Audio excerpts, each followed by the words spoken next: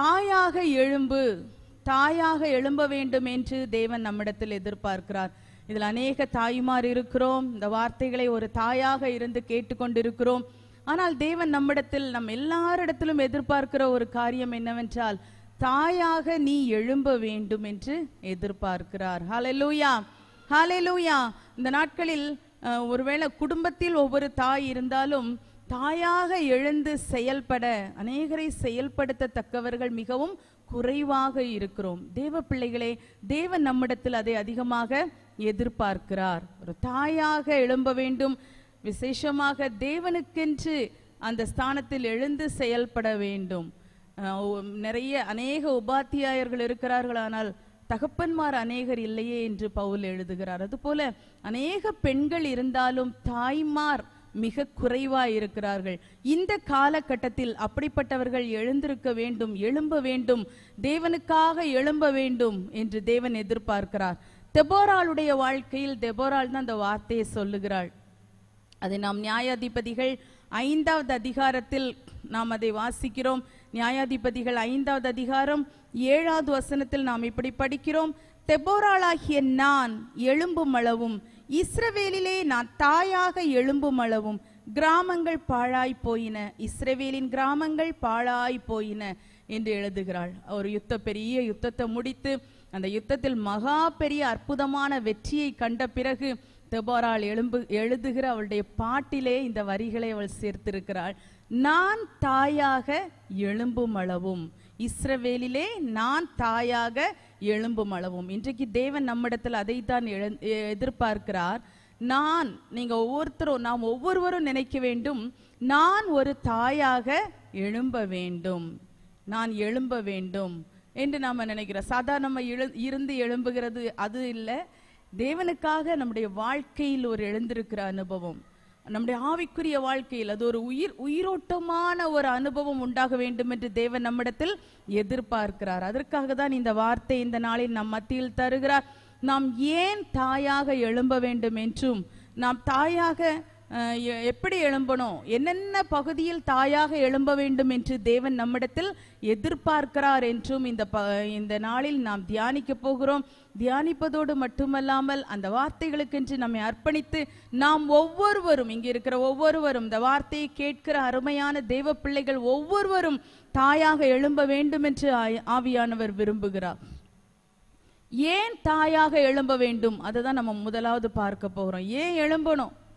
ஏன் எழும்பணும்? நான் என் வீட்டில் இந்தந்த காரியங்களை செய்கிறேன் என் குடும்பத்தில் இப்படி இப்படி செய்கிறேன் என் குடும்பத்துக்காக நான் இதையெல்லாம் செய்கிறேன் நான் ஏன் விசேஷமாக ஒரு தாயாக நான் எழும்பும்படி எதிர்பார்க்கப்படுகிறேன்? அப்படி என்று சொல்லுகிறதை நாம் தெபோராளுடைய வாழ்க்கையிலிருந்தே அவங்க சொல்ற அந்த பாட்டிலிருந்தே ஒரு சில காரியங்களை நம்ம தியானிக்க போகிறோம். அதற்கு பிறகு அவங்க எப்படி தாயா எழும்புனாங்க அப்போ நாம எப்படி எழும்பும்படி எதிர்பார்க்க போகிறோம் படு- படுகிறோம் என்பதையும் ஒரு சில காரியங்களை தியானித்து நாம் ஜெபத்திற்குள்ளாய் கடந்து போவோம். அன்பான தேவ பிள்ளைகளே இந்த ஐந்தாவது அதிகாரம் ஆறாவது வசனத்திலே சொல்லி இருக்கிறது அதில் அந்த- அந்த பெரும் பாதைகள் பாழாய் கிடந்தன.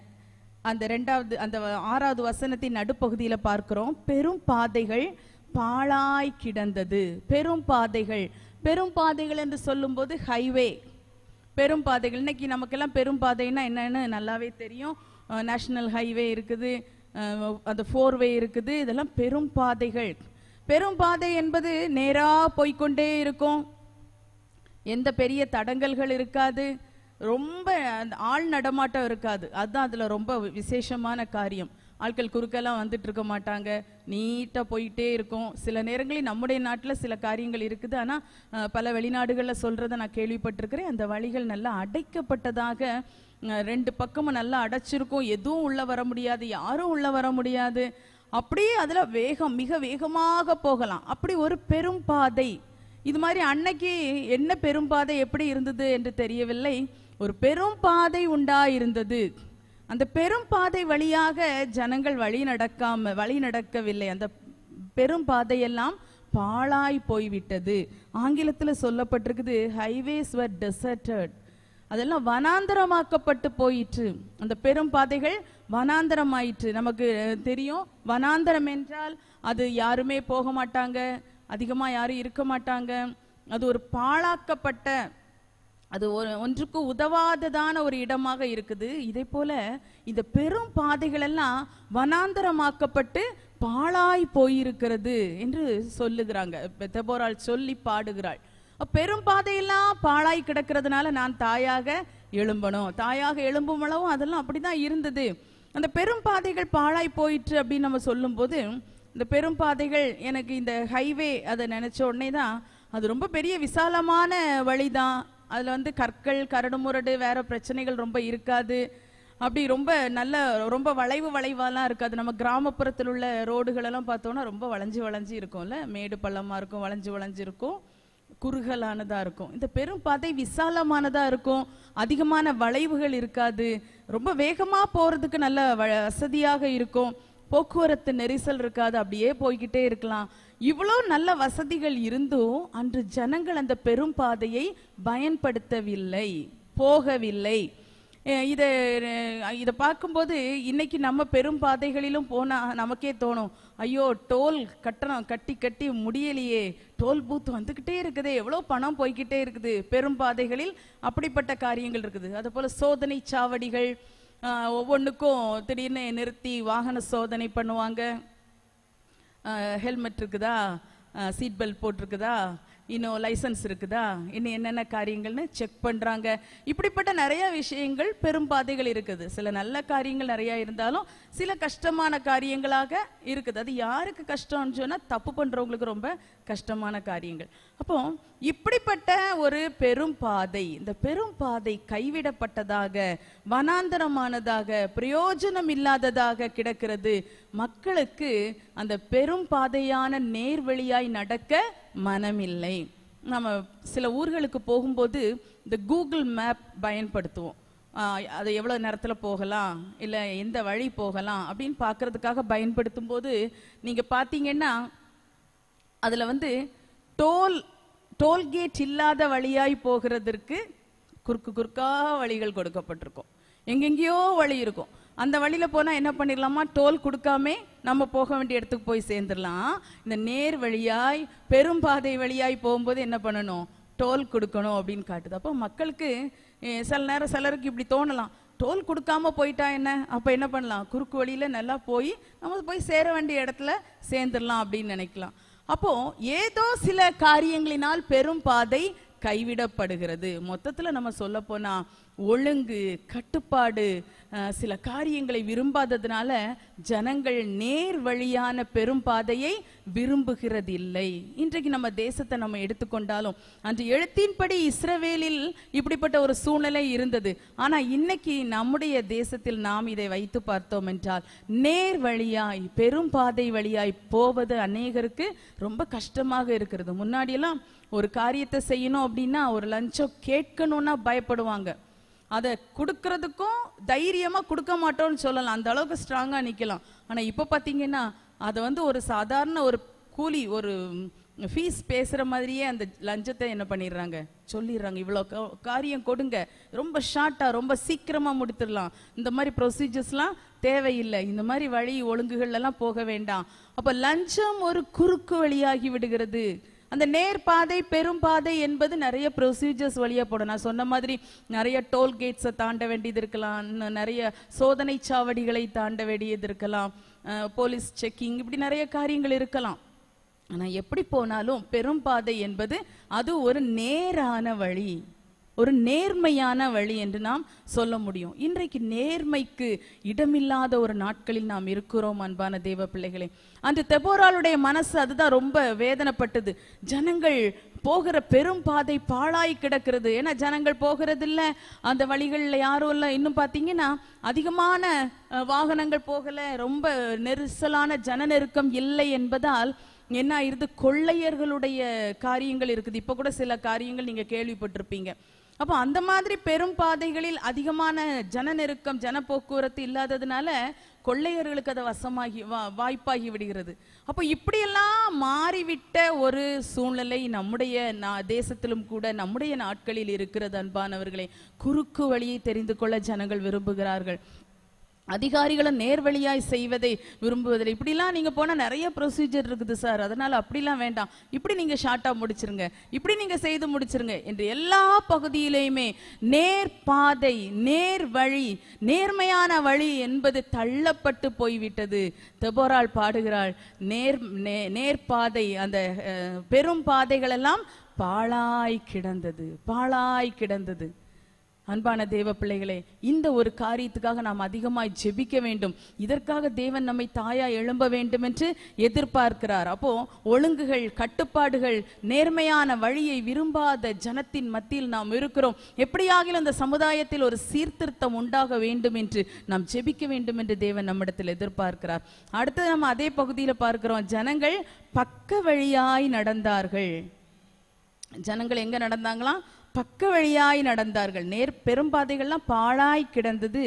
வழி நடக்கிற நடக்கிறவர்கள் பக்க வழியாய் நடந்தார்கள். அந்த டிராவலர்ஸ்லாம் walked along by byways byways பக்க வழி பக்க வழி நம்ம கூட சில நேரம் சொல்லுவோம் இப்படி போனால் ரொம்ப ஷார்ட்டாக போயிடலாம் இப்படி போனால் இங்கே ஷார்ட்டாக போயிடலாம். சில நேரம் ஷார்ட்டாக போயிடலான்னு சொல்லி அந்த வழியில் போகும்போது அந்த பெரும்பாதை ரொம்ப சுற்றி போகிறதா இருக்கும். சில இடங்களில் பார்த்தீங்கன்னா பல கிலோமீட்டர்ஸ்க்கு சுற்றி போட்டிருப்பாங்க பெரும்பாதை நம்ம நினைப்போம் ஊருக்குள்ளே போனால் ரொம்ப ஷார்ட்டாக போயிடலாமே கிராமத்துக்குள்ளோடி போனால் ரொம்ப சீக்கிரம் போயிடலாம் அப்படின்னு நம்ம நினைப்போம். ஆனால் அந்த மாதிரி இடங்களில் போகும்போது எதிர்த்தாலும் ஒரு வண்டி வந்து அடுத்தது மூவ் பண்ண முடியாது. சில நேரம் பார்த்தீங்கன்னா கல்லு முள்ளும் அதுவும் கிடந்து டயரை பாழாக்கிறோம் சைட்லலாம் முள்ளு செடியாக இருக்கும். கார்ல சைட்லலாம் என்ன பண்ணிடும் உரசீரும். நிறைய சேதங்கள் இருக்குது. ஆனா இந்த சு- குறுக்கு வழியை தெரிந்து கொள்ளுகிறவர்கள் அநேகராக இருக்கிறார்கள் ஏன்னா அன்னைக்கு பெரும் பாதை கைவிடப்பட்டு போயிற்று. யாரும் உபயோகப்படுத்தல. பல பல காரியங்களை ஜனங்கள் சொல்லி இருக்கலாம் நான் சொன்ன மாதிரி இப்படிப்பட்ட ரீசன்ஸும் இருக்கலாம். எப்படியும் பெரும் பாதையில் போகாமல் பக்க வழியாய் ஜனங்கள் நடக்க ஆரம்பித்து விட்டார்கள். இந்த பக்க வழியாய் நடக்கும்போது இந்த ஜனங்களுக்கு வந்து சில அது ரொம்ப நல்லது போல இருந்தது. பரவாயில்ல இப்படி நம்ம ஷார்ட்டா போயிடலாம். ஆனால் அதனுடைய பலன் என்ன அப்படின்னு நம்ம பார்த்தோம்னா அடுத்தது அடுத்த பகுதியில் பார்க்கிறோம். ஏழாவது வசனத்தில் நாம் அதை பார்க்கிறோம். கிராமங்கள் பாழாய் போயின. பக்கவழியாய் ஜனங்கள் நடக்க ஆரம்பித்த போது ஜனங்கள் அப்படின்னு சொன்னா வேறு இடங்களிலிருந்து வருகிறவர்கள் அந்த கிராமத்துக்கு கூட ஒருவேளை அவங்க பழக்கம் இல்லாதவங்க அது அதுக்குள்ள அவங்க போக வேண்டியதில்லை. ஆனா பக்க வழியை தெரிந்து கொண்டதுனால அதுக்குள்ள நடக்க ஆரம்பிச்சிட்டாங்க. சரி ஏன் நடக்க ஆரம்பிச்சாங்க? அன்னைக்கு வந்து எரிகோ கோட்டை அப்படின்னு நம்ம ஒரு எரிகோ கோட்டையை பத்தி பாக்குறோம் அதுல கூட அவ்வளோ ஸ்ட்ராங்கான மதில் அவ்வளோ பயங்கரமான சுவர் கட்டப்பட்டிருந்தது. அப்படி கிராமங்கள் தோறும் பட்டணங்கள் தோறும் நிறைய இடங்கள்ல பட்டணங்கள் நல்லா மதில் சூழ்ந்ததா இருக்கும். அப்போ இந்த கிராமங்கள் அப்படி திறந்து கிடக்கும் போது பலதரப்பட்ட ஜனங்கள் உள்ளே நடந்து போக ஆரம்பித்து விட்டார்கள். அதுதான் நம்ம அடுத்த பகுதியில பார்க்கிறோம். இந்த கிராமங்கள் பாழாய் போயின. அந்த கிராமங்கள் பாழாய் போயின அப்படின்னு சொல்லும்போது அந்த கிராமத்தாருடைய ஒரு சராசரி வாழ்க்கை நிலை பாதிக்கப்பட்டது. பெரும் பாதை வழியை கைவிட்டு விட்டு குறுக்கு வழியில் சென்றனர். குறுக்கு வழியில போகும்போது இந்த மாதிரி வரும்போது அநேகருடைய வாழ்க்கைக்கு இடைஞ்சல் உண்டாயிற்று கஷ்டம் உண்டாயிற்று. அப்ப இதெல்லாம் தடை பண்ணணுமா வேண்டாமா? இதுக்காக ஜெபிக்கணுமா வேண்டாமா? அதுதான் தெபோரா சொல்றாங்க. நான் தாயாக எழும்பும் அளவும் இப்படிதான் எல்லாம் பரிதாபமா மோசமா இருந்தது. ஆனா நான் தாயாக எழும்பின பிறகு எல்லாமே சீர்பட ஆரம்பிச்சுது. அப்ப இன்னைக்கு அதுதான் தேவன் நம்மிடத்தில் எதிர்பார்க்கிறார். இதற்காகத்தான் நாம் ஒவ்வொருவரும் தாயாக எழும்ப வேண்டும். பக்க வழியா நுழைஞ்சிடுறாங்க. கிராமங்களுக்குள்ள நடந்து போறாங்க. அவங்களுக்கே சம்பந்தம் இல்லாத இடங்கள். அப்ப இவங்க எல்லாம் உள்ள போகும்போது இவங்களுடைய கலாச்சாரங்கள் இவங்களுடைய பேச்சு வழக்கங்கள் இவங்களுடைய வழிபாட்டு முறைமைகள் இதெல்லாம் அந்த இடங்கள்ல வந்துருது. அதை தான் அடுத்தது நம்ம படிக்கிறோம். ஜனங்கள் நூதன தேவர்களை தெரி- தெரிந்து கொண்டார்கள். எப்படி நூதன தேவர்கள் இவங்களுக்குள்ள வந்தாங்க? இன்னைக்கு தான் நமக்கு கையில நல்ல ஒரு மொபைல் ஃபோன் இருக்குது. உலகமே கையடக்கத்துக்குள்ள வந்துருது. இதுக்குள்ள என்னனாலும் பார்த்துக்கலாம் என்னனாலும் படிச்சுக்கலாம் எப்படியும் அதை பார்த்து வாழுறதுக்கு நிறைய முறைகள் இருக்குது. ஆனா அன்னைக்கு அப்படி இல்லையே. அப்போ பல பலதரப்பட்ட ஜனங்கள் யார் யாரோ வருகிறார்கள்? எப்படிப்பட்டவர்களோ வருகிறார்கள்? அந்த கிராமத்துக்கு ஒரு பாதுகாவல் இல்லை. ஒரு பரிதாபமான சு சூழ்நிலையில் இருக்கிறது. இந்த சூழ்நிலையில் அந்த கிராமம் பாழாய் போகிறது. அந்த கிராமத்து மக்களுடைய வாழ்க்கை முறை பாழாக்கப்படுகிறது. அவங்க கற்றுக்கொண்ட பெற்றுக்கொண்ட நல்ல முறைகளெல்லாம் அவங்க கைவிட்டுறாங்க. என்னென்னா புதிய முறைகள் அவங்களுக்குள்ள வருது. அதெல்லாம் பார்க்கும்போது அவங்களுக்கு ரொம்ப சந்தோஷமா இருந்திருக்கும். ஓ இது பரவாயில்லையே புதுசா பண்றாங்களே. இப்படி ஒரு என்ன வி- விழா விழா கொண்டாடுவாங்க. ஏதோ ஒரு சடங்காச்சாரத்தை செஞ்சிருக்கலாம். ஏதேதோ முறைமைகளை செஞ்சிருக்கலாம். அதெல்லாம் பார்க்கும்போது இங்க இருக்கிற ஜனங்களுக்கு ஓ இந்த ஜனங்கள் இப்படிலாம் செய்கிறாங்களே இது நல்லா இருக்குதே. நேர போக்கா இருக்குதே. அத்தேனை பட்டணத்தாரை பார்க்குறோம் புதுசு புதுசாக அவங்களுக்கு தேவர்களை பத்தி புதிய காரியங்களை தெரிந்து கொள்றதுக்கு அவங்க ரொம்ப மனசு அவங்களுக்கு இன்ட்ரெஸ்டாக இருந்தாங்களாம். இது மாதிரி ஜனங்கள் புதிய காரியங்களை கேட்பதிலும் வினோதமான காரியங்களை அறிந்து கொள்வதிலும் அதை செய்வதிலும் ரொம்ப ஆசையாக இருக்கிறார்கள். நம்முடைய நாட்கள்லையும் அப்படிதான். வேதாகமத்தை இப்ப வேதத்தில் உள்ள காரியங்களையோ ஏதோ காரியங்களெல்லாம் எல்லாம் சொன்னா உடனே சொல்லிடுவாங்க இதெல்லாம் அந்த காலம் இதெல்லாம் எந்த காலம்? அந்த காலம் இது வந்து இப்போ புதிய யுகம். இப்போல்லாம் இது எல்லா காரியமும் கரெக்டா அப்ளை ஆகாது அப்படின்னு சொல்லுவாங்க. அப்படி இல்லை தேவ பிள்ளைகளே தேவன் நமக்கு கொடுத்திருக்கிற நல்ல முறைமைகள். அவரை பின்பற்ற தேவன் கொடுத்திருக்கிற நல்ல ஒழுங்குகள் சட்டங்கள் வார்த்தைகள் வசனங்கள் உபதேசங்கள் இவைகள் எல்லாம் ஒவ்வொரு நாளுக்கு நாள் மாறுவது இல்லை. அது என்றைக்கும் மாறாதது. வானமும் பூமியும் ஒழிந்து போனாலும் என் வார்த்தைகளோ அதன் உறுப்புகளோ ஒன்றும் ஒரு நாளும் ஒளிந்து போவதில்லை என்று அவர் சொல்லி இருக்கிறாரே அப்போ அந்த கிராமத்து ஜனங்கள் இந்த வழிப்போக்கர்கள் அங்கே இருந்து குறுக்கு வழியாக பக்க வழியாக போய்கொண்டிருக்கிறவர்கள் இவர்களினால அந்த கிராமம் சீர்கெட்டு விட்டது. கிராமங்கள் பாழாய் போய்விட்டது போய்விட்டது. தபோரால் மிகவும் வருத்தத்தோட சொல்லுகிறார் மட்டுமல்ல பாதுகாவல் இழந்து விட்டது. அந்த ஜனங்கள் அப்படியே வந்து இப்போ மாதிரி எல்லாரும் ஒரே அப்படி போயிட மாட்டாங்க. அந்த நாட்களில் யாத்திரை செய்கிறதுலாம் ரொம்ப கஷ்டம். சில மைல்கள் தூரத்தை பல நாட்களாக கடந்து செல்வாங்க. ஒரு இடம் போவாங்க தங்குவாங்க புறப்பட்டு போவாங்க. அப்போ அங்கே தங்கி இருக்கும்போது அங்கே வியாபாரம் பண்ணுவாங்க அந்த ஜனங்கள் அங்கே தங்கள் காரியங்களை செய்வாங்க. என்ன செய்கிறாங்க அப்போ இந்த தேசத்தின் குடிகள் இந்த கிராம குடிகள் யாரு மற்றவர்கள் யாரு என்ற ஒரு வித்தியாசம் இல்லாதபடி அநேக கஷ்டங்கள் அந்த ஜனங்களுக்கு. பாழாக்கப்பட்டு விட்டது. ஒருவேளை அந்த கிராமங்கள்ல இருந்து ஜனங்கள் வேற எங்கேயும் வெளியேறி போனாங்களான்னு தெரியல. எப்படியும் சுருக்கமா தெபோரா சொல்லிட்டாங்க. கிராமங்கள் பாழாயின. ஹலலூயா இன்னைக்கு நம்ம கிராமங்கள் எப்படி இருக்குது? ரொம்ப காலம் கொஞ்ச காலத்துக்கு முன்னாடி நினச்சிட்டு இருந்தோம். இதெல்லாம் பட்டணத்தில் தான் அந்த மாதிரி பிரச்சனைகள்லாம். நம்ம வாழ்ற இந்த கிராமங்கள்லாம் ரொம்ப சேஃபாக இருக்கும். ஏன்னா நம்ம மக்கள்லாம் ஒழுக்கமானவர்கள். அவங்க ரொம்ப ஒழுங்குள்ளவர்கள். அவங்க கண்ணியமானவர்கள். கிரா நகர்ப்புறத்தில் பலவிதமான காரியங்கள் இருக்கலாம். தப்பு நடக்கலாம். கொலை கொள்ளை சண்டைலாம் நடக்கலாம். ஆனால் கிராமங்கள் வந்து அப்படி இருக்க மாட்டாங்க. கொஞ்சம் மனசாட்சியோடு இருப்பாங்க. இப்படிலாம் பேசுகிறத நான் கேள்விப்பட்டிருக்கிறேன். ஆனால் இன்றைக்கு நம்முடைய கிராமங்கள் எப்படி இருக்கிறது? நம்முடைய நாம் வாழுகிற இடங்கள் எப்படி இருக்கிறது அன்பானவர்களே? அது கிராமமோ பட்டணமோ எப்படி இருக்கட்டும்? எப்படி இருக்கிறது? தேசத்தின் குடிகளுடைய வாழ்க்கை நிலைமை என்ன? அப்புறம் இன்னும் கொஞ்சம் நம்ம பார்த்தா தெய்வ ஜனத்தினுடைய வாழ்க்கை முறை எப்படி இருக்கிறது? யார் யாரோ வருகிறார்கள் போகிறார்கள் சொல்லுகிறார்கள் என்று சொல்லி அதுக்கெல்லாம் இடம் கொடுத்து விட்டோமா? ப- பழைய காலங்களில் பார்த்தா துருபதேசங்கள் என்பது எங் எங்கேயோ வீடு வீடா போய் சொன்னாலோ இல்ல ஒரு சபையை ஒரு வீடு எடுத்து இருந்து அங்க ஜனங்களை சந்திச்சாலோ தான் துருபதேசம் பரம்பிக்கிட்டு இருந்தது. ஆனா இன்னைக்கு ரொம்ப வேகமாக டெக்னாலஜி எவ்வளவு வளர்ந்துருக்குதோ அந்த அளவுக்கு வேகமாக பரவுது. ஒவ்வொரு கிராமத்திலும் ஒவ்வொரு இடங்களிலும் துருபதேசக்காரர்கள் நுழைந்து தங்களுடைய தங்களுக்கு சுயமான தங்களுக்கு தேவையான தங்கள் இச்சை நிறைவேற்றுவதற்காக சொல்லப்படுகிற வார்த்தைகளை ஜனங்களுக்குள் கொடுத்து தேவ வசனத்தில் வளர்க்கப்பட்ட பிள்ளைகளை கூட வழிமாறி போக பண்ணுகிறார்கள். அன்பான தேவ ஜனமே இன்று நம்முடைய கிராமம் எப்படி இருக்கிறது? இதை எழுப்ப வேண்டியது இதை சரி பண்ண வேண்டியது இந்த சீர்கேடுகளை களைந்தெறிய வேண்டியது தேவன் நம்மிடத்தில் எதிர்பார்க்கிற ஒரு பெரிய மிஷனாக இருக்கிறது. தேவ பிள்ளைகளே நாம் ஒவ்வொருவரும் அதற்காக அர்ப்பணிக்க வேண்டும் என்று எதிர்பார்க்கப்படுகிறோம். கிராமங்கள் பாழாய் கொண்டிருக்கிறது. ஜனங்கள் நூதனமான தேவர்களை பின்பற்றுகிறார்கள். நூதன காரியங்களில் ஆசை ஆசையா இருக்கிறாங்க. புதுசா ஒரு காரியமா அப்படி வேகமா படிக்கிறாங்க. ஆனா இந்த பைபிளை எந்த அளவுக்கு படிக்கிறாங்க? கடைசி காலத்தில் விசுவாசத்தை மனுஷகுமாரன் காண்பாரோன்னு ஒரு ஆச்சரியமான கேள்விதான் கேட்டிருக்குது. அதனால காண மாட்டார் என்று சொல்லி நம்ம விட்டுறக்கூடாது. காண வேண்டுமே ஆண்டவரே. இந்த கடைசி காலத்தில் எங்கள் மத்தியில் எங்களுக்குள்ளாக எங்கள் ஜனங்களுக்குள்ளாக எங்கள் கிராமங்களிலே உம்முடைய விசுவாசத்தை நீங்க பார்க்கணும் ஆண்டவரே. அதுக்காக நான் ஒரு தாயாக எழும்பணும்னு நீங்க உங்களை அர்ப்பணிப்பீங்களா? அன்பான தேவ பிள்ளைகளே தேவன் அதை தான் நம்மிடத்துல எதிர்பார்க்கிறார். தேவ வார்த்தையில் ஜனங்கள் வர வேண்டும். ஆதி நாட்களின் விசுவாசத்தை விட்டு அனுபவங்களை விட்டு மறுபடி எழும்ப வேண்டும். அந்த சீர்கேடுகள் குணமாக வேண்டும். இந்த காரியமெல்லாம் நம்மளால செய்ய முடியும்னு ஆண்டவர் எதிர்பார்க்கிறார். நான் ஒரு பெண்ணா இருக்கிறேன் நான் என்ன செய்வேன்னு நினைக்கிறீங்களா? இல்லை நான் ஒரு வாலிப பிள்ளையா இருக்கிறேன் என்னால என்ன செய்ய முடியும்னு நினைக்கிறீங்களா? இல்ல உங்களை நம்பிதான் ஆண்டவர் இந்த வார்த்தையை தந்திருக்கிறார். ஹலலூயா ஹலலூயா நூதனமான காரியங்களை விரும்புகிறார்கள் ஜனங்கள். ஒரு ஆச்சரியமான ஒரு காரியம்னா அது பைபிள்ல இருக்குதா? இது சொல்லி இருக்குதா? இது ஒரு புதிய கலாச்சாரமாக இருக்குதே. இது ஒரு பெரிய புதிய ஒரு அறிவை எனக்கு கொடுக்குது. இது ஒரு புதிய காரியமாக இருக்குது. இதுவரை நான் கேள்விப்பட்டதே இல்லையே. ஆனால் அந்த கேள்விப்படாத விஷயம் ரொம்ப நல்லா இருக்கிற மாதிரி இருக்கும். அது எல்லாருக்கும் அப்படி இருக்காது. வசனத்தில் தேவ வசனத்தில் ஆழமாய் வேரூன்றி இருக்கிற பிள்ளைகளுக்கு அப்படி இருக்காது. ஆவிக்குள்ளாக நிறைந்து வாழுகிற பிள்ளைகளுக்கு இதெல்லாம் ஒரு சலனத்தையும் கொடுக்காது. ஆனால் நிறைய பேருக்கு இது கொடுக்குது பாருங்க.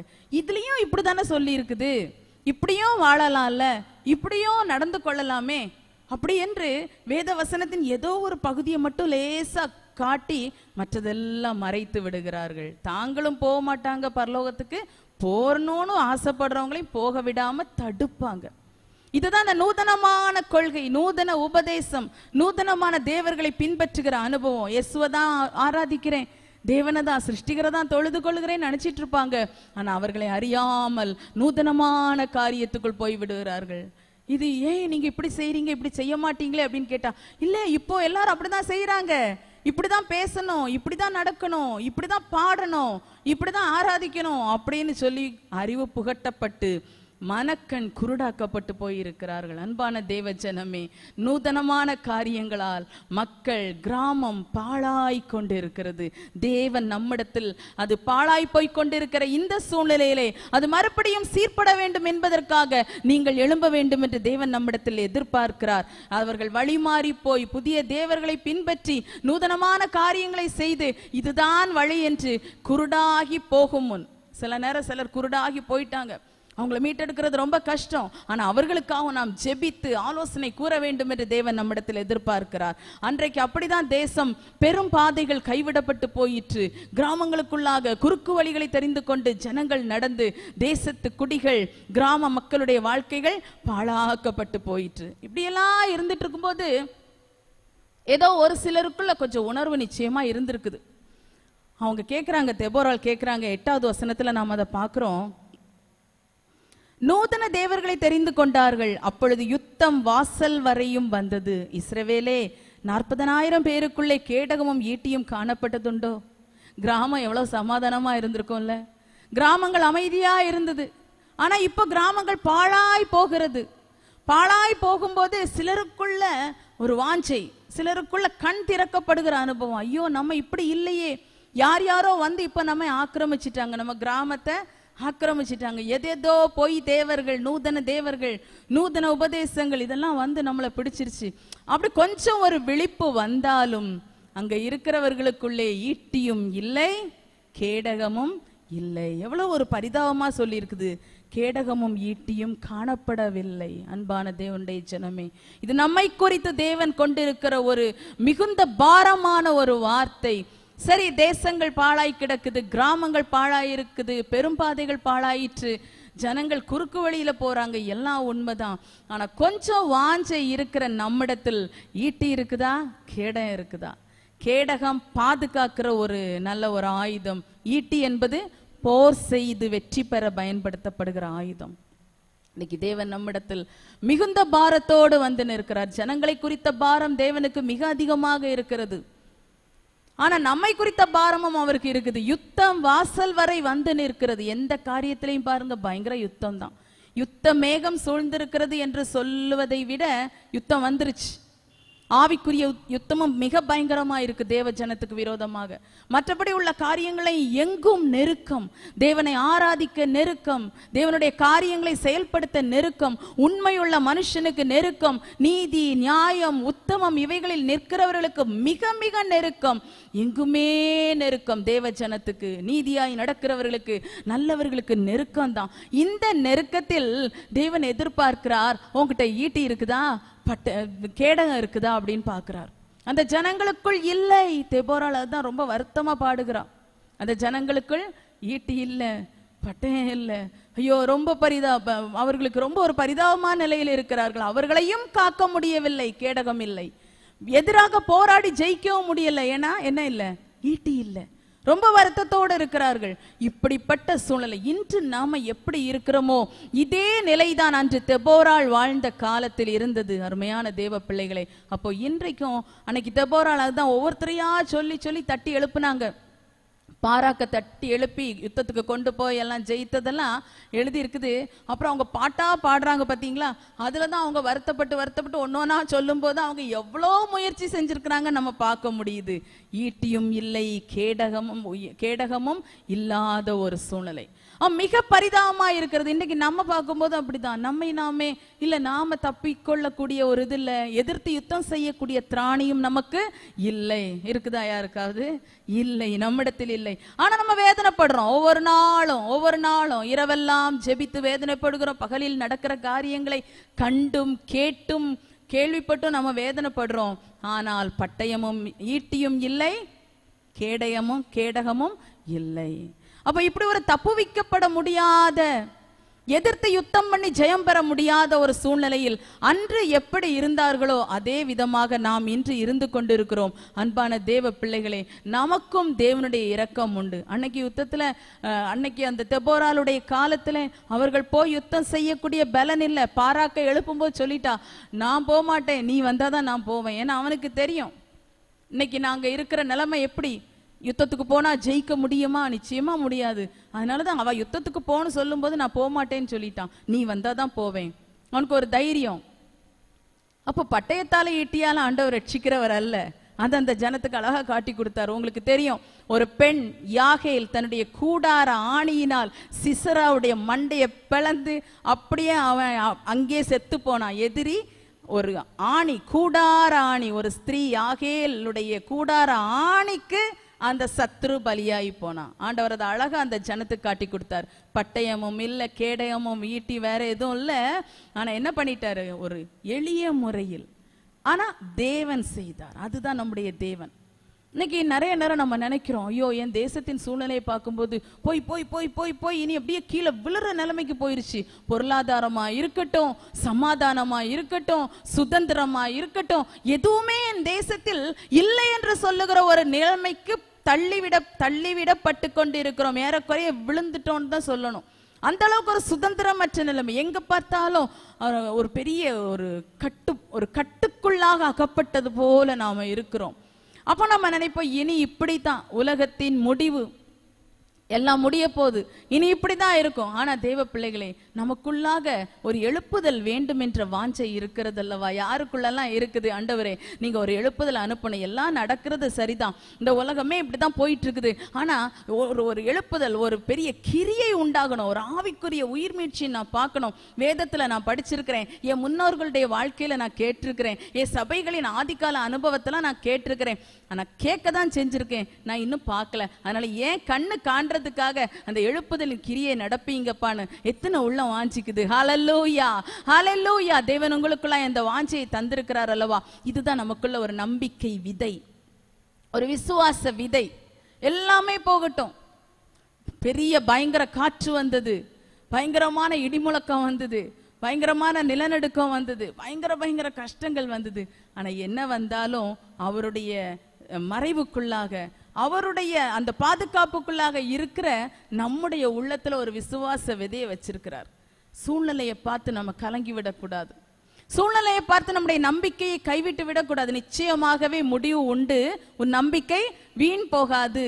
இன்னைக்கு நம்ம ஒவ்வொரு நேரம் பல காரியங்களை நினைக்கும் போது ஐயோ இனியெல்லாம் அது வெறும் கனவு தானா எனக்கு சில சொப்பனங்களை ஆண்டவர் கொடுத்திருக்கிறார். உங்களுக்கு கொடுத்திருக்கலாம். எழுப்புதலை பற்றி இல்லை உங்க உங்களுடைய வாழ்க்கையின் ஒரு பெரிய விடுதலை உயிர்மீட்சியை பற்றி சபையின் ஆசீர்வாதத்தை பற்றி இல்லை ஆத்துமாக்கள் ரட்சிக்கப்படுறது சில சொல்லுவாங்க. நிறைய ஜனங்கள் ரட்சிக்கப்பட்டு நம்ம சபையில் வந்து சே- வர்ற வந்துக்கிட்டே இருக்கிற மாதிரி சொப்பனம் ஆண்டவர் எனக்கு காட்டினாரு. இல்லை நம்ம நிறைய பேருக்கு சுவிசேஷம் சொன்ன மாதிரி காட்டினார். இப்படி எதோ சொப்பனங்கள் பார்த்துருப்பீங்க. ஆனால் இந்த காலகட்டத்தை பார்க்கும்போது அது எல்லாம் இனி நடக்காதோ என்று நாம் நினைக்கவே கூடாது. ஏனென்றால் தேவன் ஒரு சொப்பனம் ஒரு தரிசனம் தந்தால் அது குறித்த காலத்தில் நிறைவேறும்படிக்கு அது வைக்கப்பட்டிருக்கிறது. அது தாமதித்தாலும் வரும். ஹalleluya அப்படிதானே நம்ம வாசிக்கிறோம். தாமதித்தாலும் வரும். அது அப்படி போயிடாது இன்னைக்கு தரிசனங்களெல்லாம் புதைச்சு போட்டுட்டீங்களா? இதெல்லாம் ஒண்ணும் இல்லை இனிமேல். ஏதோ நடக்கிறத பார்த்து ஆண்டவர் வருவார் போயிருவோம். இல்லை என்ன உபத்திரவ காலம் வருதோ அதுக்கு நம்ம ஆயத்தமாவோம். அப்படி நீங்க நினைச்சிட்டு இருக்கிறீங்களா இல்ல. அதை நினைக்காதீங்க. பார்க்கிற எல்லாமே நமக்கு வித்தியாசமா இருக்கலாம். ஆபிரகாம் சாராளை குறித்து அதுதானே படிக்கிறோம். அதுதானே ஆண்டவர் சொல்லி வச்சிருக்கிறாரு. உன் தகப்பனாகி ஆபரகாம நோக்கி பாரு. உன்னை பெற்ற சாராள நீ பாரு.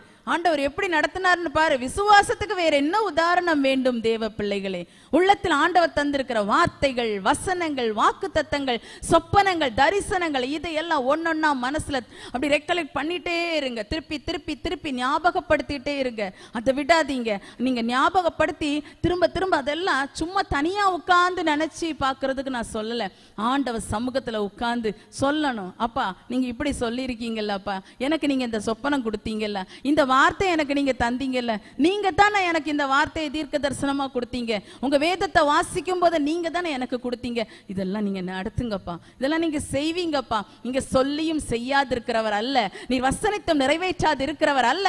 நீ சொன்னபடி செய்கிறவர். நீ வசனித்ததை நிறைவேற்றுகிறவர் நான் விசுவாசிக்கிறேன் ஆண்டவரை. செய்யுங்கன்னு ஆண்டவர்கிட்ட கேட்கணும். சில நேரம் நம்ம அப்படியே போய் ஆண்டவர்கிட்ட உட்காந்து அழுதுடுறோம் ஆண்டவரே இப்படிலாம் சொன்னீங்களா ஆண்டவரே. ஆனால் எல்லாம் தலைகீழ நடக்குது ஆண்டவரே. ஒண்ணு கூட நேரா நடக்கலையே. எல்லாமே தலைகீழ நடக்குதே ஆண்டவரே. இது என்னப்பா? இனி ஒண்ணுமே இல்லையா? அப்புறம் போய் போய் இப்படியும் கேட்டுருவோம். ஒருவேளை இந்த வசனம் இந்த வார்த்தை சொப்பனம்லாம் நீங்க கொடுக்கலையா எனக்கு? இல்ல வேற ஏதோ நானே பார்த்துக்கிட்டேனா? இந்த அளவுக்கு எல்லாமே மறத்து போகிற மறந்து போகிற நிலைமையில் நம்முடைய நாட்கள் இருக்கிறது தேவ பிள்ளைகளே. ஆனா கர்த்தர் ஒரு நாளை உங்களுக்கு வைத்திருக்கிறார்.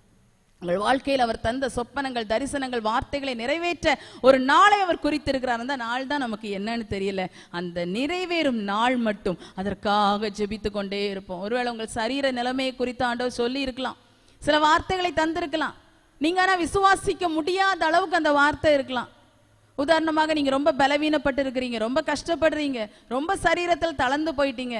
ஆண்டவர் ஒரு வார்த்தையை கொடுப்பார் கொடுத்திருப்பார். கழுகுக்கு சமானமாய் உன் வயது திரும்ப வால வயது போலாகிறது உடனே இந்த வார்த்தையை வச்சு ஆரம்பத்துல நல்லா ஜோம் பண்ணியிருப்போம் நாட்கள் போக போக பலவீனங்கள் சற்று அதிகமாகும் போது ரொம்ப சோர்வு. கழுக்கு சமானமாய் மாறாட்டாலும் என் அன்றன்றுள்ள வேலையை செய்யத்தக்க பலனையாவது எனக்கு தாரும் ஆண்டவரேன்னு கேட்டீங்களா? பாருங்க எந்த அளவுக்கு நம்ம பின்வாங்கி விட்டோம். ஆண்டவர் இன்னைக்கு உங்ககிட்ட எதிர்பார்க்கிறார். ஆண்டவர் தந்த வார்த்தைகள் ஆண்டவர் தந்த தரிசனங்கள் சொப்பனங்கள் வாக்குத்தத்தங்கள் எல்லாவற்றையும் மறுபடி அவர் நிறைவேற்ற இருக்கிறார். அந்த கால சமீபித்து விட்டது கரங்களை தட்டி கத்தரை மகிமைப்படுத்துவோமா? ஹாலல்லூயா ஹாலல்லூயா ஹாலல்லூயா ஹாலல்லூயா சொன்னதை நிறைவேற்றுகிறவர் சொன்னதை நிறைவேற்றுகிறவர். ஆமேன் ஹாலல்லூயா தேங்க்யூ you சொன்னதை நிறைவேற்றி முடித்திடுவார். சொன்னபடி ஆகுமல்லோ சொன்னபடி ஆகுமல்லோ சொன்னது நீரை வேறுமல்லோ. சொன்னபடி ஆகுமல்லோ? சொன்னது நீரை வேறுமல்லோ? சொல்லியும் செய்யாது இருப்பாரோ? வசனித்தும் நிறைவேற்றாதிருப்பாரோ? சொன்னதை செய்யாமல் இருப்பாரோ? வசனித்தும் நிறைவேற்றாதிருப்பாரோ? சொன்னபடி ஆகுமல்லோ? சொன்னபடி ஆகுமல்லோ? சொன்னது நீரை வீருமல்லோ? சொன்னபடி ஆகுமல்லோ? சொன்னது நீரை வீருமல்லோ? உம்மை மாத்திரம் நாங்கள் சார்ந்திடுவோம். உம் நாமத்தை பிரஸ்தாபப்படுத்துவோம். உம்மை மாத்திரம் நாங்கள் சார்ந்திடுவோம். அலலுயா அலலுயா அவர் சொன்னதை செய்து முடிக்கிறவர் உங்களுக்காக. அதனால் அவரை உறுதியாய் பற்றி கொள்ளுவோம் உம்மை உறுதியாய் பற்றி கொண்ட மனதையுடையவன் உண்மையே நம்பி இருக்கிறபடியால் நீர் அவனை பூரண சமாதானத்தோடு காத்து கொள்ளுவீர் இந்த நாட்களில் சில சூழ்நிலைகள் நிமித்தமாக சமாதானத்தை இழந்து ஒரு மகிழ்ச்சியை ஒரு சந்தோஷத்தை இழந்து காணப்படுவீர்களானால் உங்களை நீங்கள் மறுபடி கொண்டு வாருங்கள். கத்தரதை எதிர்பார்க்கிறார். நீங்கள் தாயாக எழும்ப வேண்டும் என்பதுதான் உங்களை குறித்த தேவ சித்தம். அப்படி இருக்கும்போது உங்களை எழுப்ப யாரோ வரணும்னு நினைக்காதீங்க. கத்தர் எழுப்புகிற நேரங்களில் அவருக்குள்ளாக நாம் எழும்ப வேண்டும். ஹலல்லூயா ஹலல்லூயா அந்த தெபோரால் அதுதான் அவங்க அழகா சொல்றாங்க நான் தாயாக எழும்ப வேண்டும். அவங்களுக்கும் குடும்பம் உண்டு. பல வேலைகள் உண்டு. நியாயம் விசாரித்தாங்க.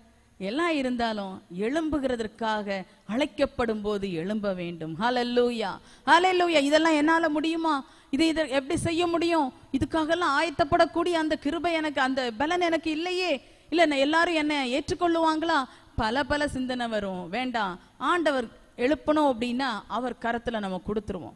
அப்பா என்ன நீங்க ஒரு தாயா எழுப்பணும்னு விரும்புறீங்க. நான் அதுக்காக என்ன உங்க கரத்துல தருகிறேன் ஆண்டவரை.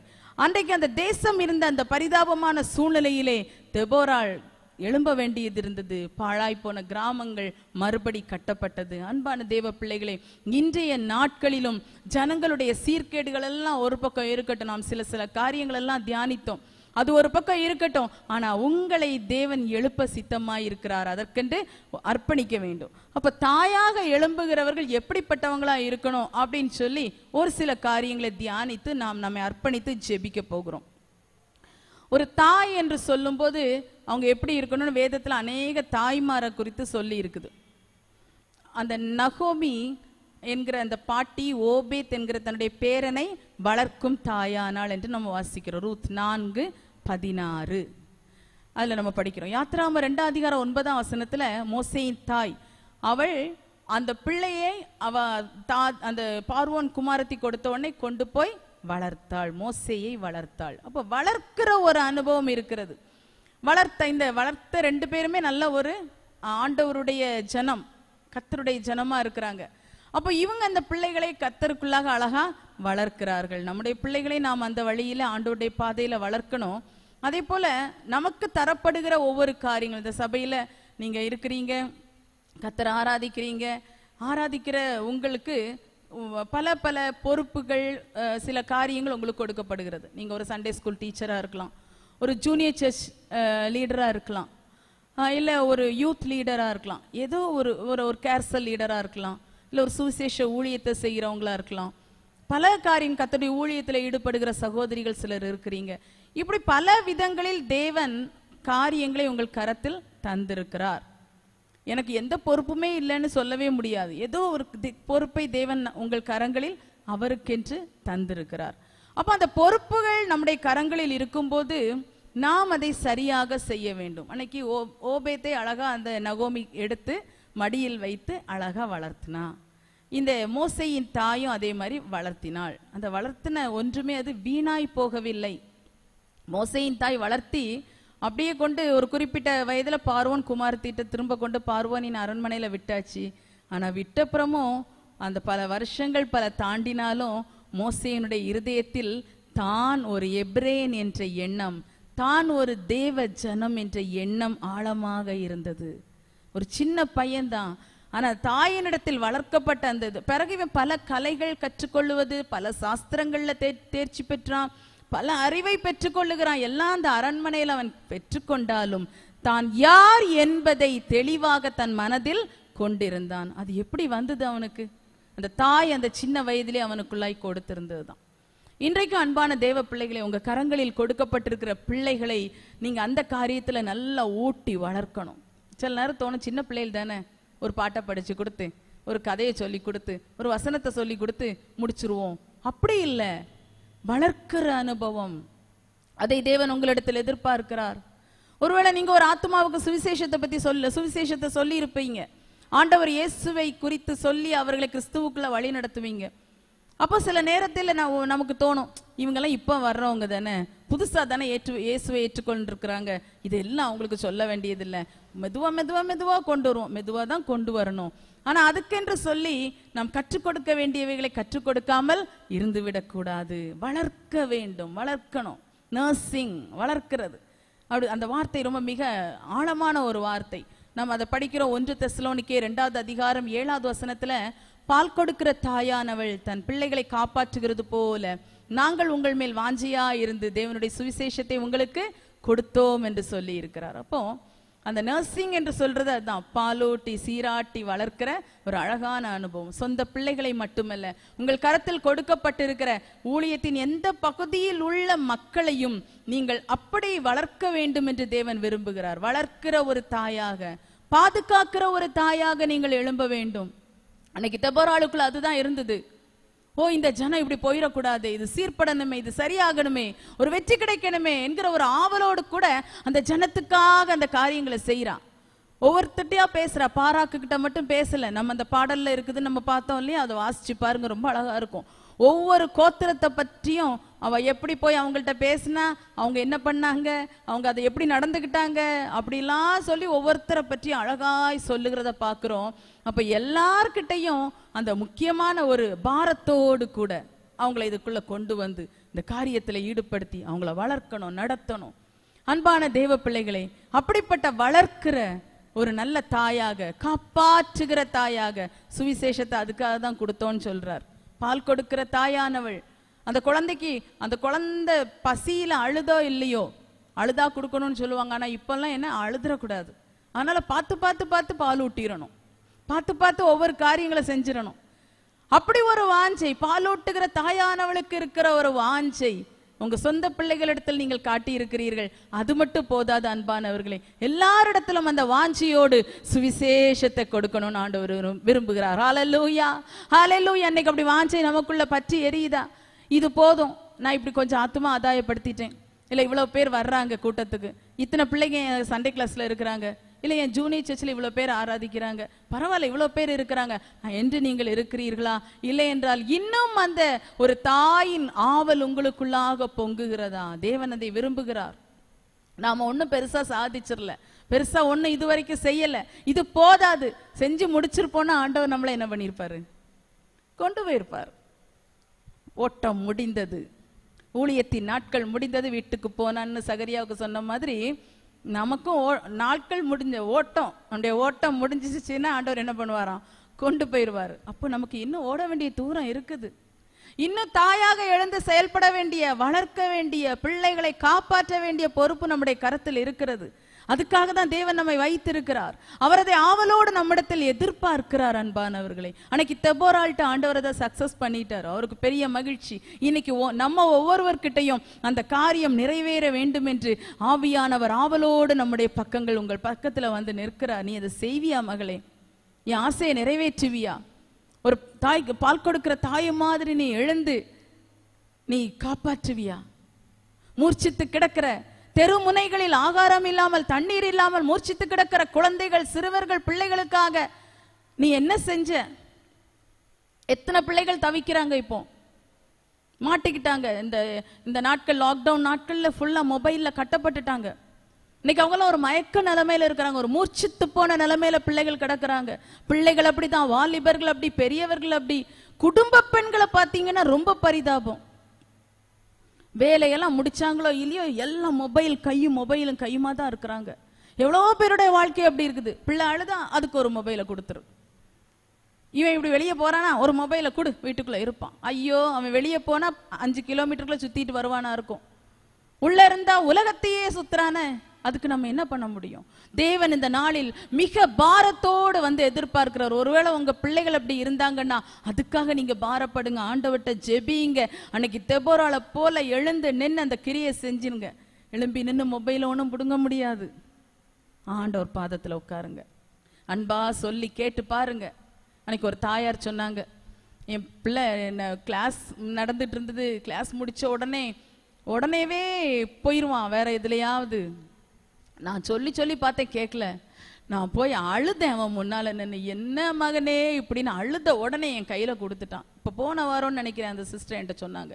அழுத உடனே என் கையில் தந்துட்டான். தந்துட்டு சொன்னா அம்மா எனக்கு கிளாஸ் நடக்கும்போது நான் கிளாஸ் கவனிக்கிறேன். அப்புறம் நீங்கள் கிளாஸ் முடிஞ்ச உடனே என் கையிலேருந்து நீங்கள் வாங்கிருங்கம்மா என் மொபைலன்னு சொன்னான். அப்படியே நான் போய் வாங்கினேன் கொஞ்சம் நல்லா இருந்தது. அப்புறம் நான் வாங்கிட்டு போன அப்புறம் கொஞ்ச நேரம் கழிச்சு வருவான். நம்ம பிள்ளைகள் நிலைமையை பாருங்க இது ஒன்றும் இல்லை. எல்லாம் நிறைய பிள்ளைங்க இப்படி தான் இருக்காங்க. வந்து நின்று கேட்டானா அம்மா அம்மா ப்ளீஸ் ஒரு ஆஃப் அன் ஹவர் தாங்க நான் பார்த்துட்டு உடனே தந்துடுவேம்மா ஒரு அரை மணி நேரம் கொடுங்கம்மா. அரை மணி கெஞ்சு கெஞ்சுன்னு கெஞ்சினானா. எந்த தாயாவது இறங்காம இருப்போமா இதுதான் நம்முடைய பிள்ளைகள் அப்படியே போறாங்க. இன்னைக்கு ஆண்டவர் பாரத்தோட வந்து நிற்கிறார். சரிதான். உனக்கு மீட்டெடுக்கக்கூடிய பட்டயமும் இல்லை கேடயமும் இல்லை ஈட்டியும் இல்லை எல்லாம் சரிதான். ஆனா நீ என் பாதத்துல வா. நீ ஒண்ணு சேர். அதற்காக எல்லாரையும் சேர். சேர்ந்து ஜோம் பண்ணு. ஆண்டவர் பாதத்துல வா அர்ப்பணி. நான் ஒரு வளர்க்கிற தாயாக காப்பாற்றுகிற தாயா இருப்பேன் ஆண்டவரே. அன்னைக்கு அந்த மோசையின் தாய் வளர்த்ததோ இல்ல நகோமியுடைய வளர்ப்போ ஒரு நாள் வீணாய் போகல. ஒருவேளை மோசே பல வருஷங்கள் அரண்மனையில போனோடனே அவங்க பெற்றோர் கூட ஒருவேளை நினைச்சிருக்கலாம். ஐயோ இவன் அங்க இருக்கானே என்ன நினைச்சாங்கன்னு தெரியல. ஆனா பல வருஷங்கள் அப்படி அவன் இருக்கும்போது நினைச்சிருக்கலாம். ஆனா ஒரு குறித்த நாளில் சரியாக அந்த மோசே எப்படி இருந்தான் அப்படிங்கிறது அன்னைக்கு தான் வெளிப்பட்டது. நான் ஒரு எப்ரேயன். நான் தேவ ஜனம். அது மாறி போகலாமே மனசுல. நீங்க கரெக்டா உங்க பிள்ளைகளை அந்த பாதையில நடத்துங்க. உங்க கையில இருக்கிற சின்ன பிள்ளைகள் அந்த வழியில நடத்துங்க. உங்களுக்கு வருகிற புதிய விசுவாசிகளுக்கும் அந்த அந்த ஃப்ரெஷ்ஷான ஹார்ட்ல தேவனுடைய வார்த்தைகளை தேவனுடைய உபதேச சத்தியங்களை அழகா எழுதுங்க. ஒரு நாளில் நிச்சயமான பலனை காண்போம். ஹாலல்லூயா ஹாலல்லூயா அடுத்து பாக்குறோம் ஒரு தேற்றுகிற தாய். நம்ம எல்லாருக்கும் தெரிஞ்ச வசனம். ஏசாயா அறுபத்தி ஆறு பதிமூணு ஒரு தாய் தேற்றுவது போல நான் உங்களை தேற்றுவேன். தாய் தேற்றுவாங்களாம். இதெல்லாம் சொல்லியா தெரியணும். ஆனால் இந்த காலத்தில் பார்த்தீங்கன்னா தேற்றுகிற தாய்மார் ரொம்ப குறவு. மாம்சத்தின்படியான பிள்ளைகளை கூட கண்டு கொள்ளாமல் இருக்கிற தாய்மார் நிறைய ஆயிட்டாங்க. ஆனால் ஒரு தாய்க்கு ஆண்டவர் அந்த ஒரு பாசம் ஒரு தேற்றுகிற ஒரு அனுபவத்தை கொடுத்துருக்கிறார். இன்னும் ஒரு பயங்கரமான ஒரு வசனம் உண்டு. புலம்பலில் நான்காவது அதிகாரம் பத்தாம் வசனத்தில் இரக்கமுள்ள தாயின் கைகள் கூட தங்கள் பிள்ளைகளை சமைத்தன. எவ்வளவு பயங்கர வசனம் இல்ல? இரக்கமுள்ள தாய் தேற்றுகிற தாய். முதல்ல பார்த்தா ஒரு வளர்க்கிற காப்பாற்றுகிற தாயா நம்ம எழும்பணும்.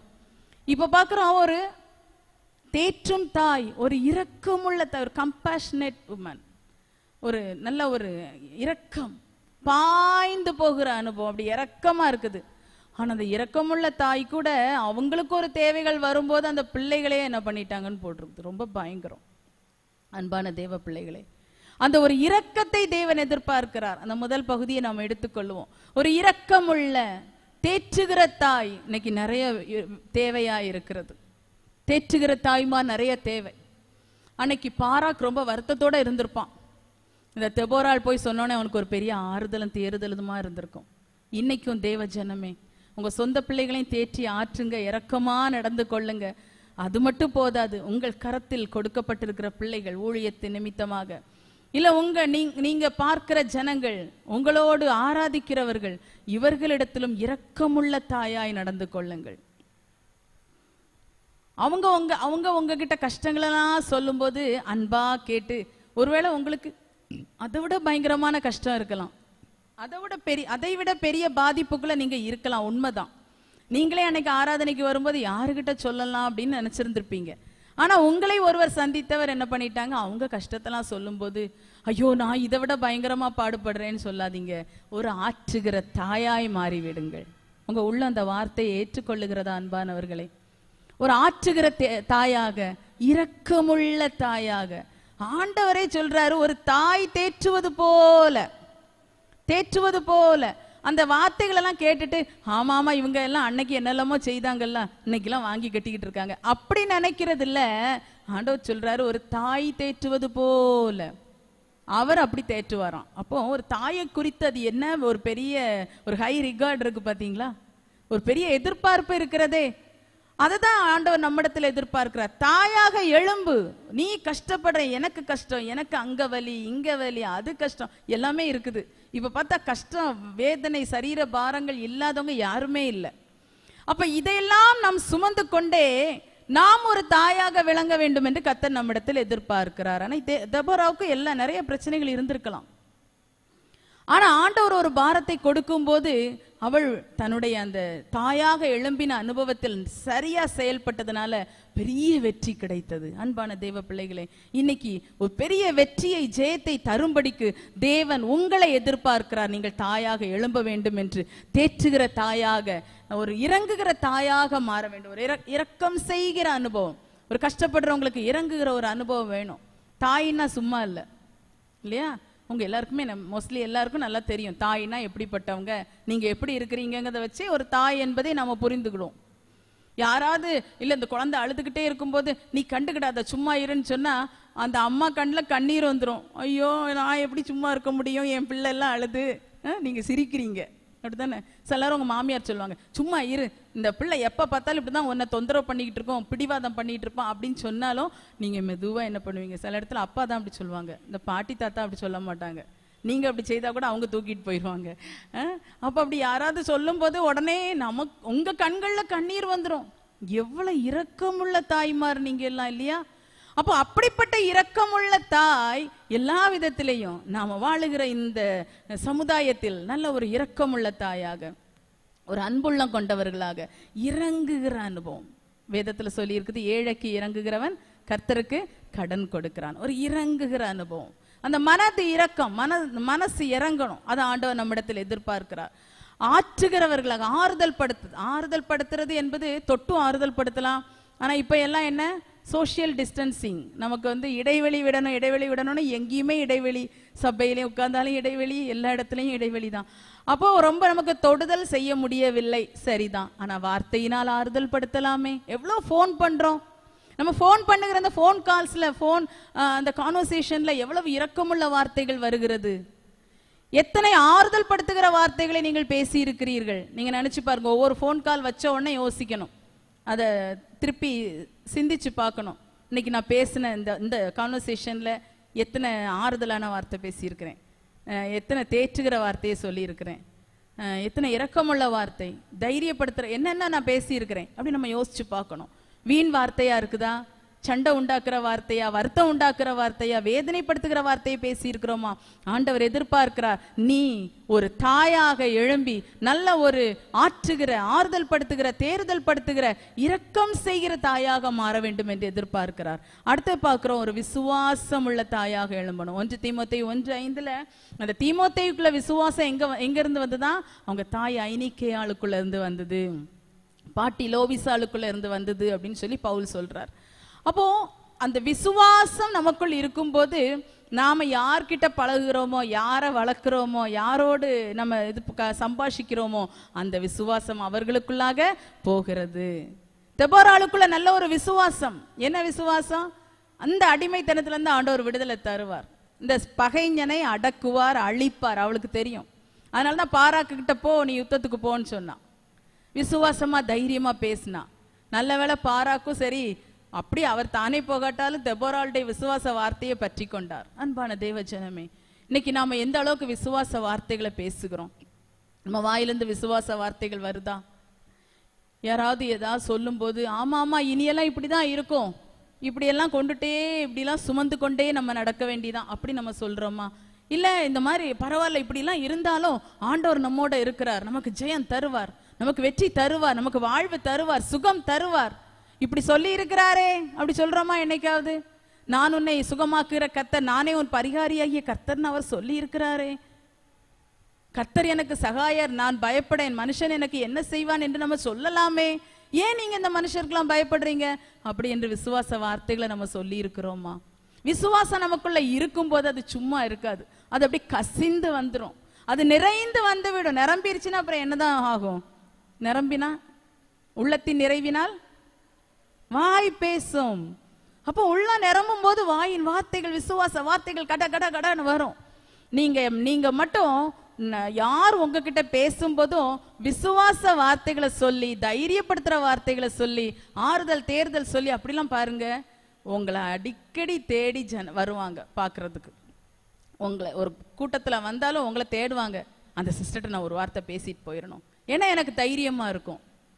தைரியமான வார்த்தையை சொல்லுவாங்க. ஒரு கஷ்டம் வந்த உடனே ஞாபகம் வரும். ஐயோ இவங்களுக்கு ஃபோன் பண்ணால் இருக்கிற தைரியமும் பலமும் போயிடும் அதனால் இவங்களுக்கு பண்ணக்கூடாது அவங்களுக்கு பண்ணணும். அப்போ அவங்க கொஞ்சம் தைரியப்படுத்துவாங்க. எனக்காக ஜோம் பண்ணுவாங்க விசுவாச வார்த்தை சொல்லுவாங்க. அப்படின்னு ஒரு தைரியம் வரும். பாருங்க அப்படிப்பட்ட ஒரு ஸ்தானத்தில் நீங்களும் நானும் இருக்க வேண்டும் என்று கத்தோடைய ஆவியானவர் எதிர்பார்க்கிறார். விசுவாச வார்த்தைகளை பேசுவோம். அதே போல போதிக்கிற அனுபவம். நீதிமொழிகள் முப்பத்தொன்னுல அவன் தாய் லேமுவேலுக்கு லேமுவேலின் தாய் அவனுக்கு மகனுக்கு போதிக்கிறார் என்ன ஒரு நல்ல நீதிமொழிகள் இல்ல குணசாலியான ஸ்திரியை சொல்லி கொடுக்குறான். போதிக்கிறதான அனுபவம். போதனை இன்று ரொம்ப தேவை. போதிக்கிறதுக்கு நிறைய பேருக்கு ரொம்ப கஷ்டம். நான் கரெக்டாக சொல்லி கொடுப்பேனா? நான் சொல்றது புரியுமா? ஜோம் பண்ணுங்க. அப்படிலாம் யாராவது நினைச்சா சிலர் சொல்லுவாங்க. நான் சொல்றது அவங்களுக்கு புரியாது. எனக்கு கரெக்டாக சொல்லி கொடுக்க தெரியாது. இப்படிலாம் ஏதாவது மனசில் நினைக்கிறீங்கன்னா நீங்கள் ஆண்டவர்கிட்ட கேட்கணும் ஏசப்பா ஜனங்கள் கேட்டறியத்தக்க திராணிக்கு ஏற்றபடி ஊமைகள் மூலம் நீர் அவர்களுக்கு போதித்தீர்னு உண்மை குறித்து வேதத்தில் எழுதி இருக்குதுல்ல அப்போ நான் உம்முடைய பிள்ளை உம்முடைய உண்மை பின்பற்றுகிற உம்முடைய ஜனம். அப்போ எனக்கு அந்த கிருபையை நீங்கள் தாங்க. யார் யார்கிட்ட சின்ன குழந்தைகிட்டயா இருக்கட்டும் பெரிய ஆள்கிட்டயா இருக்கட்டும் படித்தவங்களா படிக்காதவங்களா யாரா இருக்கட்டும் நான் உங்களை பற்றி இல்லை அவங்கள்ட்ட பேசும்போது அவங்க புரிஞ்சுக்கிற மாதிரி பேச எனக்கு கிருபை தாங்க. அந்த போதிக்கிற வரத்தை எனக்கு தாங்க நீங்க கேட்கணும். நல்லா போதிக்கிற தாயாக எழும்பணும். தெபோரால் எத்தனை பேர்கிட்ட பேசியிருக்கா பார்த்தீங்களா பாரா கிட்ட பேசியிருக்கிறா? ஒவ்வொரு கோத்திரத்துக்கிட்டையும் பேசியிருக்கிறா? அவங்களுக்கெல்லாம் தகவல் கொடுத்துருக்குறா? எல்லா காரியமும் செஞ்சிருக்கிறா. அப்ப இவளுக்கு ஆண்டவர் எவ்வளவு ஞானம் கொடுத்திருக்கிறார்? நமக்கு தர மாட்டாரா தாயாக எழும்ப வேண்டும் என்று அவர் எதிர்பார்க்கிறார் என்றால் அதற்கான அத்தனை குவாலிட்டிஸை நிறைவாக தேவன் நமக்குள்ளாக தருவார். அதே போல உன்னத பாட்டில் ஒரு வசனம் படிக்கிறோம். சாலமோனுக்கு அவங்க அம்மா முடி சூட்டுனாங்களாம். முடி சூட்டுனாள் முடி சூட்டின முடியோடு அவர் நின்னாராம். முடிசூட்டுகிற ஒரு அனுபவம். நான் இதை எளிதாக ஒரு காரியத்தை சொல்ல விரும்புகிறேன் நல்ல ஒரு அந்த பிள்ளைங்களை பிள்ளைகளையும் சரி மற்றவர்களையும் என்கரேஜ் பண்ணுகிறேன் அவங்களுக்கு நல்ல ஆசீர்வாதம் கொடுக்கிற வாழ்த்து கொடுக்கிற வார்த்தைகளை பேசுங்க. அதுதான் முடிசூட்டுதல். அவங்கள வந்து நல்ல அவங்கள உயர்த்தி ஓ நீ நல்ல ஆசீர்வாதமா இருப்ப. ஆண்டவர் உன்னை ஆசீர்வதிப்பார். உன்னை மேன்மைப்படுத்துவார். உன் கஷ்டம்லாம் மாற்றுவார். உன்னை நல்ல உயர்ந்த ஸ்தானங்களில் ஏறி வர பண்ணுவார். நீ எங்க விளங்குவேன்னு கேட்கக்கூடாது. நீ உருப்படுவியான்னு கேட்கக்கூடாது. சிலர்லாம் நாசமா போவேன்னு சொல்லிடுவாங்க அந்த வார்த்தைகள் நம்முடைய வாயில் வரக்கூடாது. சிலவங்க சிலவங்க சொல்லுவாங்க கடைசி காலத்தில் நீ என்னை எங்கே திரும்பி கூட பார்க்க மாட்ட. இப்போ அந்த பிள்ளைங்க பண்ணுறதை பார்த்துட்டு அஞ்சு வயசுலேயே ஏழு வயசுலேயே அந்த பிள்ளைகளுக்கு இப்படிப்பட்ட வாழ்த்துக்கள் கொடுக்கிறது. வேண்டாம் அன்பானவர்களே. இந்த சாப வார்த்தைகளை நம்மை விட்டு விலக்கி விடுவோம். மற்றவர்களிடத்துலையும் அப்படிதான் அந்த வார்த்தைகளை நம்ம விட்டு தூர தள்ளுவோம். நாம எதை விதைக்கிறோமோ அதையே அறுப்போம். வார்த்தைகள் பெரிய விதைகள்.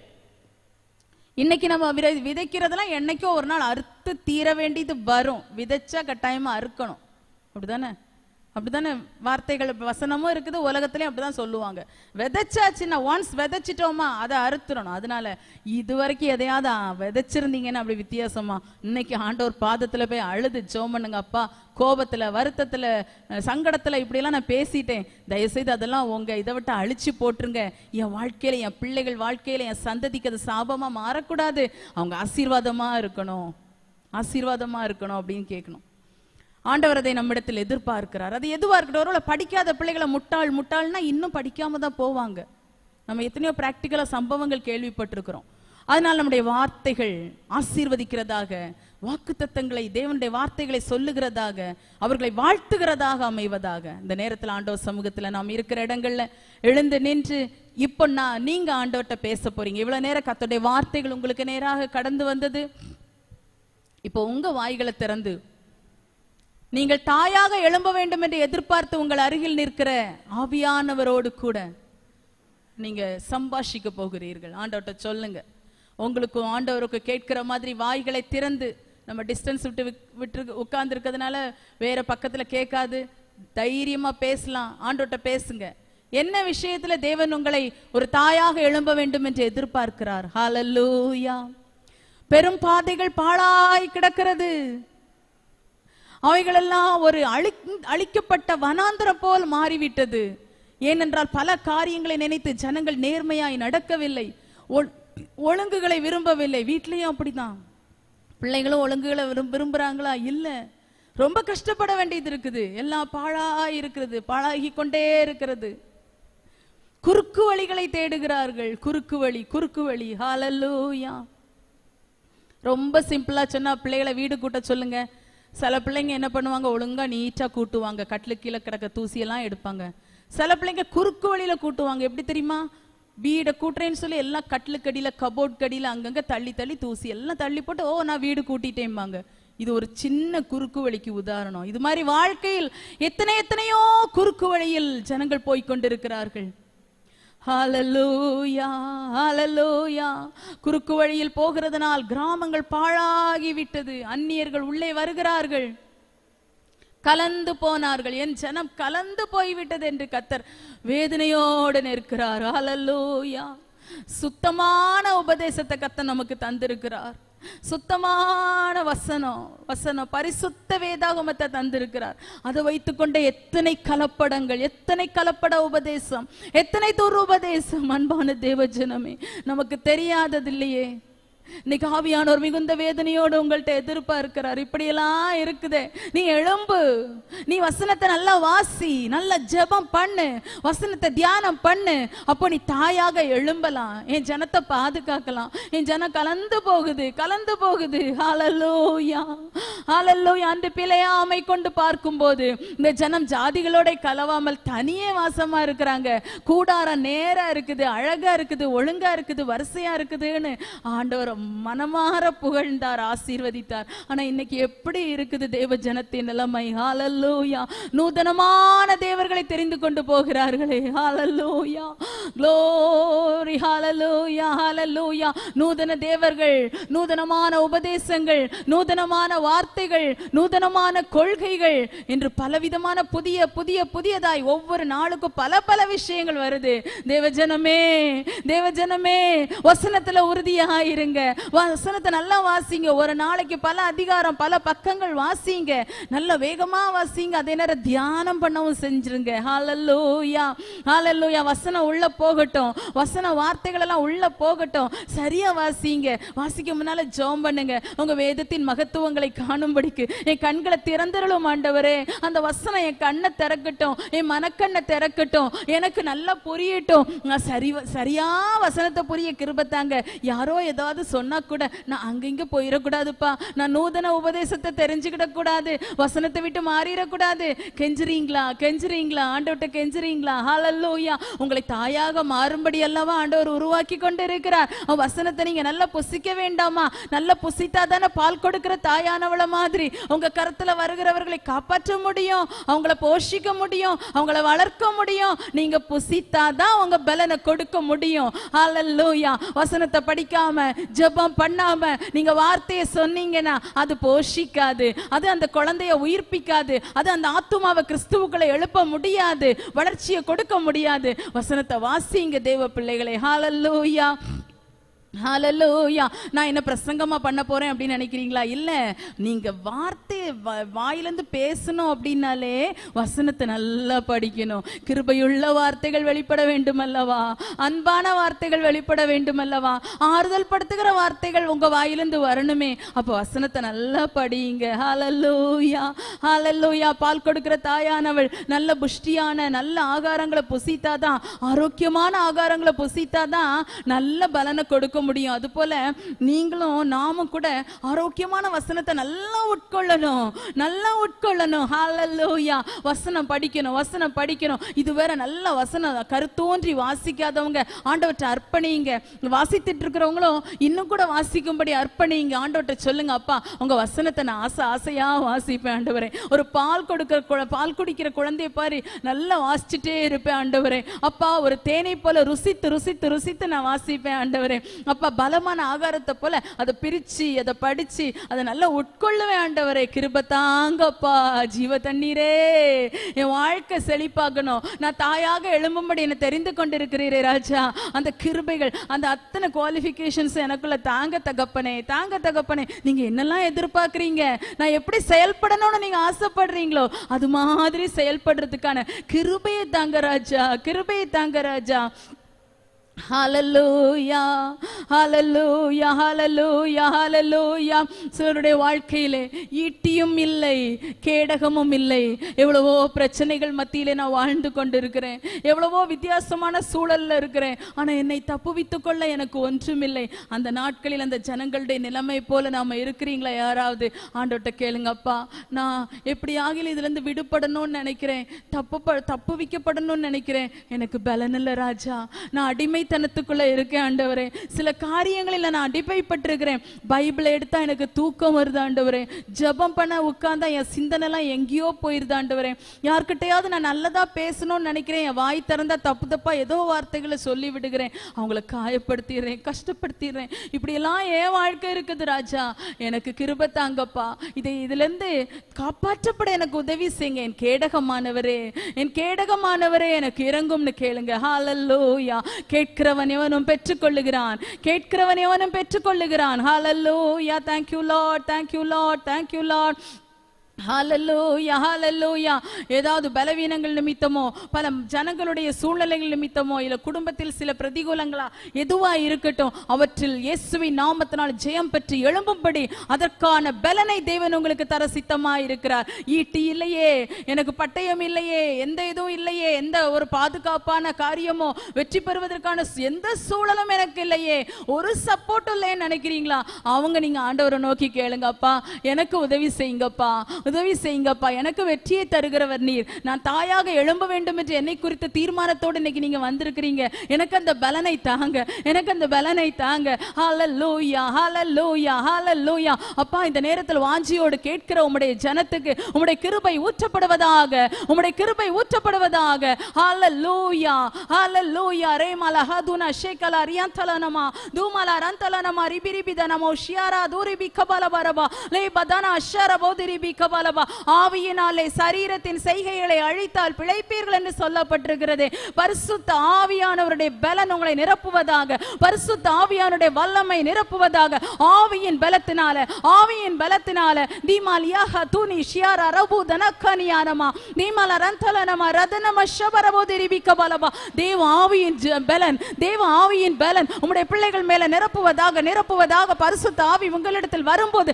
நீங்கள் பலன் அடைந்து சாட்சிகளா இருப்பீர்கள் என்ற வார்த்தையின்படி இந்த நேரத்தில் நம்முடைய பிள்ளைகளை பரிசு தாவியானுடைய பலன் நிரப்புவதாக நிரப்புவதாக நிரப்புவதாக நிரப்புவதாக தேவ பலனை பெற்றுக்கொள்ளுங்கள். தேவ கிருபையை பெற்றுக்கொள்ளுங்கள். தேவனுடைய வல்லமையை பெற்றுக்கொள்ளுங்கள். தேவ ஜனமே தேவ ஜனமே தேவனுக்காக எழும்ப வேண்டும். ஒரு தாயாக எழும்ப வேண்டிய பொறுப்பு உங்களிடத்தில் ஒப்படைக்கப்பட்டு இருக்கிறது அதற்கான பலனை கேளுங்க கேளுங்க கேளுங்க. திகானியா தனமல ஹதுனி ஷிகல அதரபோதிரி பிக்கபல பரபா ஒரு அக்கான அரியாந்தலனமா ஷபரபோதிரி பிக்கபலபா ஞானத்தின் ஆவியானவரே பலத்தின் ஆவியானவரே கிருபைகளை தருகிறவரே உடைய ஜனத்தின் மேல் இறங்குறதற்காய் ஸ்தோத்திரம் அப்பா. உடைய ஜனத்தின் மேல் இறங்குகிறதற்காய் ஸ்தோத்திரம் ஆண்டவரே. ரிமலா ஷபரபோ திரிபி ஷபரபோதிரி பிக்கபோரியாந்தலனமா ரிபலபோரியா. ஆமென். வாயிலே வார்த்தையை அருளுகிறீர். வாயிலே கிருபையுள்ள வார்த்தைகளை அருளுகிறீர். தைரியப்படுத்துகிற விசுவாச வார்த்தைகளை அருளுகிறீர். யார் இடத்துல பேசுகிறார்களோ வார்த்தைகளை நீர் கொடுக்கிறீர் கொடுக்கிறீர் கொடுக்கிறீர். ஆமென் ஆமென். தாயாக பயன்படுத்த சித்தம் கொண்டு இருக்கிறீர் ரிபா ஷரபோ திரிபி கபால பரபா வாஞ்சியோடு இருக்கிற அன்பான சகோதரிகளை உங்களை அவர் அப்படியே பயன்படுத்த சித்தமா இருக்கிறார். சித்தமா இருக்கிறார். இன்னும் அர்ப்பணிங்க இன்னும் அர்ப்பணியுங்க.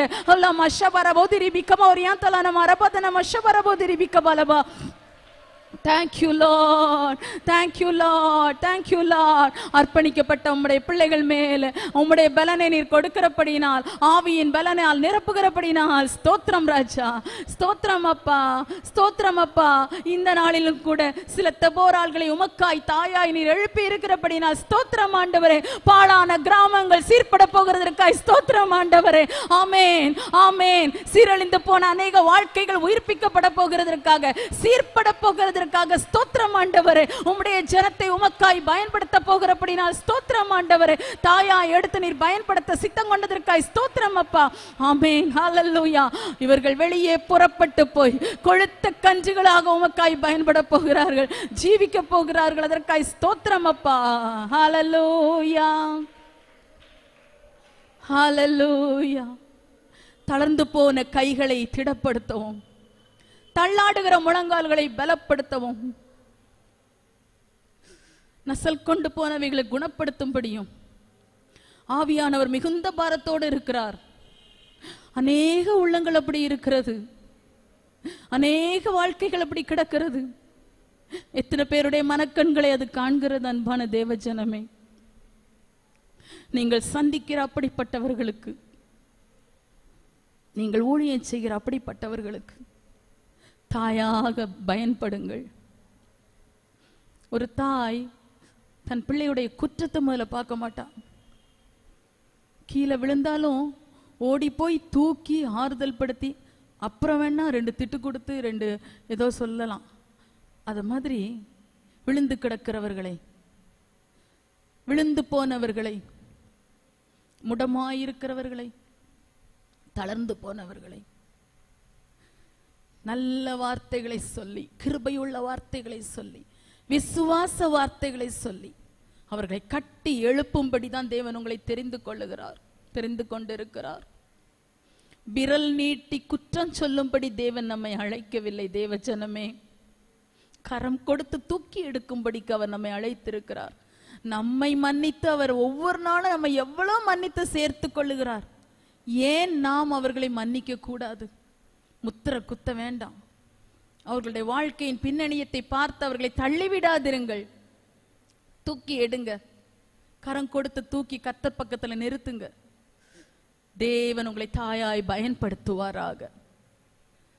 எங்களை நேசிக்கிற எங்கள் பரிசுத்தமுள்ள நல்ல தகப்பனே இந்த நாளிலும் உம்முடைய பாதத்திலே வர நீர் தந்த பாக்கியத்துக்காய் ஸ்தோத்திரம்.